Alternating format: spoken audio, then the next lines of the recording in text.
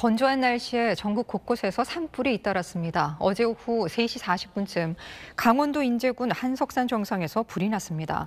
다행히 인명피해는 없었지만 안개가 심해 소방 헬기 운항이 중단되는 등 진화 작업에 어려움을 겪었습니다.